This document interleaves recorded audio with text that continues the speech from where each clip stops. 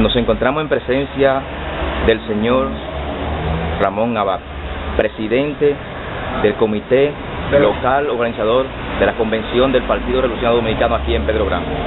Quisiéramos saber cómo está el montaje de la actividad para mañana domingo. Sí, gracias. Nosotros tenemos ya todo listo para el montaje de la convención del Partido Revolucionario Dominicano, que la hemos definido como una fiesta de la democracia, una fiesta blanca de los PRDistas. Nosotros a partir de las 7 de la mañana del domingo 20 del mes en curso vamos a iniciar el proceso de votación para elegir a las autoridades del Partido Revolucionario Dominicano. Se va a elegir al presidente del partido, al secretario general, al secretario de organización, a los subsecretarios y a los vicepresidentes a nivel nacional.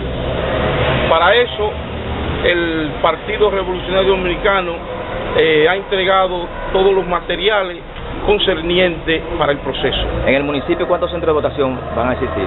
Aquí en el municipio tenemos un solo centro de votación que va a funcionar en el local del Partido Revolucionario Dominicano, situado en la autopista Duarte a la altura del kilómetro 28, al lado de la parada 28. ¿Cuántas mesas hay habilitadas? Nosotros hasta ahora tenemos una mesa habilitada, eh, una mesa matriz, donde va a funcionar todo el procedimiento. Tenemos pensado establecer una, dos o tres mesas auxiliares para agilizar en el proceso. Las mesas auxiliares consisten en tener los padrones, copia del padrón, para cuando lleguen los militantes y dirigentes, irlo chequeando en el padrón y luego pasen hacia la mesa donde se les va a entregar su boleta para que procedan a votar. ¿Cuántos militantes tiene el padrón aquí en el municipio Pedro Gran? El padrón cuenta hasta ahora con un estimado de 1.800 electores. 1.800 electores entre dirigentes y militantes inscritos en el PRD. Aquellas personas que no aparezcan inscritas, ¿tendrán derecho a ejercer. No, lamentablemente las personas que no aparezcan en el padrón no tendrán derecho a ejercer el voto. ¿Cuál será el horario? El horario establecido es el que designó la Comisión Nacional Organizadora.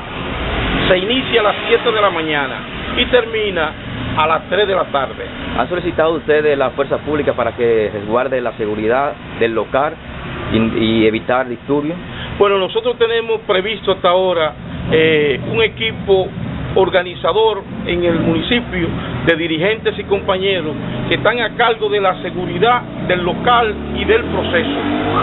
Nosotros desde las 5 de la mañana vamos a instalar en la seguridad en el local y en todo lo, el perímetro donde se va a desarrollar la convención. En caso de que fuese necesario, que esperamos que así no sea, nosotros podemos auxiliarnos de la Policía Nacional, que es la institución llamada a, salvaguardar el orden público.